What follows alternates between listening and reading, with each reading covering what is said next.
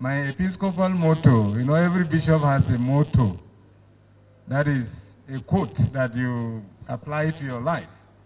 My own is through the cross to the glory of God. Through the cross to the glory of God.